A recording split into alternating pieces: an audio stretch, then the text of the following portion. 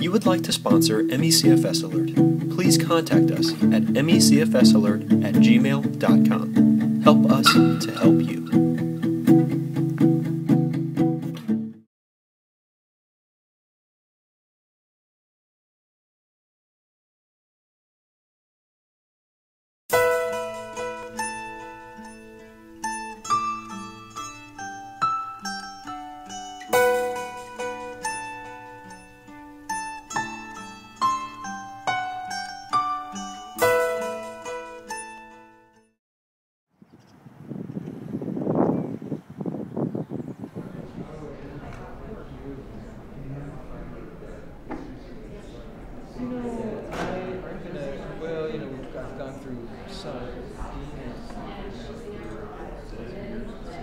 Hello, I'm Llewellyn King of MECFS Alert.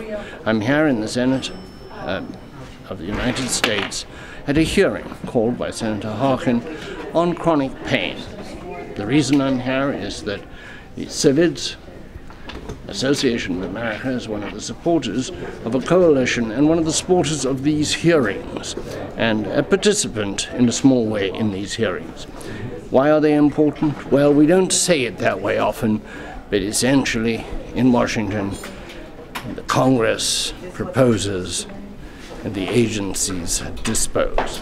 In theory, it's the president who proposes, but on specialized issues, issues like pain, issues of medicine in general, therefore, of ME, CFS, it is the Congress that may be more important than the administration.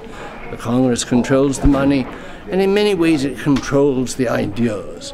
One of the big ideas that came out of today's hearing on pain was that there is stovepiping, that education of doctors is out of date, and that the rigidities within the NIH and other institutions are such that across the board diseases are not getting an across the board look either by insurers, physicians, or researchers. It's important to recognize that emotions can stimulate physiologic change.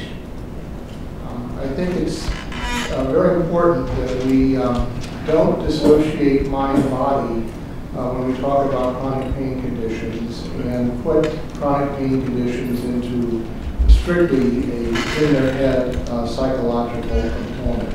Uh, there is no doubt that our emotions contribute to our physiology. I think that we have much work to do to uh, look at our approach to pain, just as we do other uh, neurological and psychiatric illnesses from a physiological perspective as well.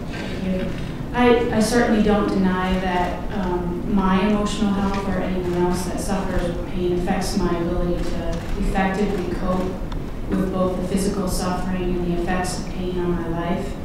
Um, but while I was hit by a car and nearly died, my pain has never been questioned by any medical provider. This is not the experience of the average pain patient in our country. The mechanisms and risks that result in chronic pain does not mean that it's made up in your mind and is not real. There's just a lot of people like you around the town, uh, maybe not with vulvodynia, but with fibromyalgia, uh, irritable bowel syndromes, back pain, all kinds of things that, uh, that we just need to know more about. I mean, and we have to do more research in this area, but it has to be wrong.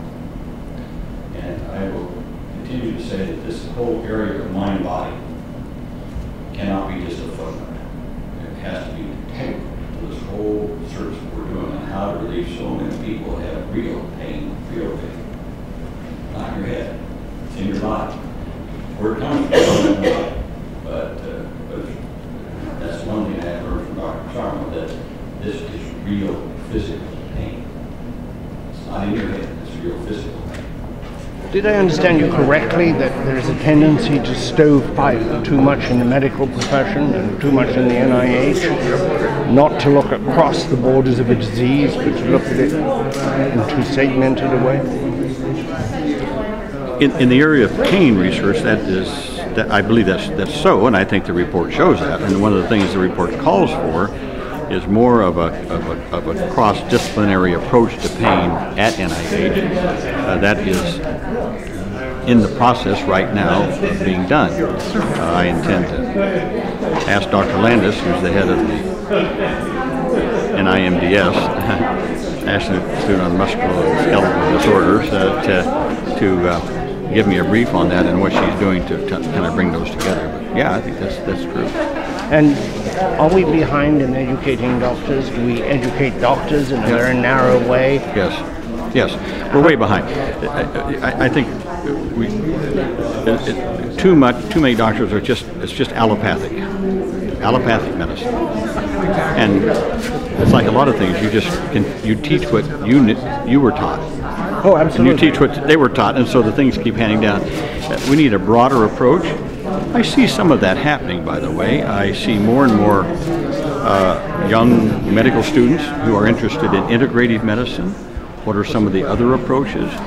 Uh, and they're doing this on their own. They're asking, asking, asking for this in their medical schools. Uh, residencies now, uh, that hospitals now connect up residencies in integrative medicine to look at different aspects of medical treatment. Thank you very much. Thank Okay. Very interesting. Thank- Thank thank you you. so Thank you very much.